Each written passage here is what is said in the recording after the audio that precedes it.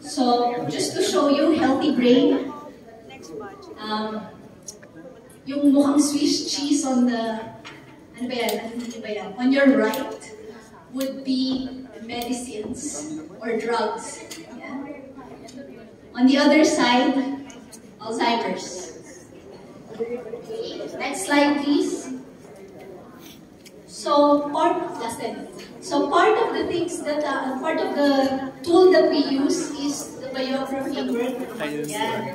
So this particular patient uh, at what age did this uh, present this? Meron siyang ano, forgetfulness. So para siyang rule out Alzheimer's and Parkinson's. She also has this uncontrollable shaking. But because her dopamine and other levels are okay, hindi siya ma-diagnose ng maayos, cannot be given the usual medicine.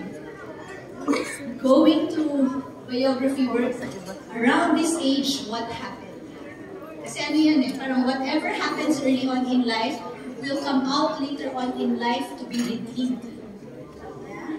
So, yan. So, next slide please.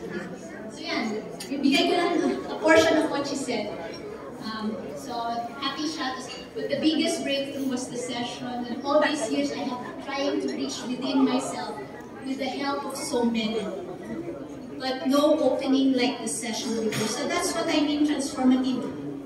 Ano, if baka, baka pwedeng isang session lang, baka pwedeng miraculously. And that's my ano, that's that's how I'm dealing with patients. Kung kaya ng isang session lang, let's try. But I'm not promising. Diba?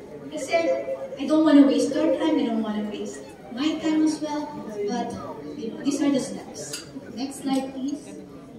Okay, kanina reading the book of nature. You're familiar with this plant? Ah, yes. Mother of thousands, the Berthian plant, and then how, in terms of vitality, so even without science, tinatabi namin yan sa mga cancer patients and somehow the life force. Dalawa yan, yung mga blame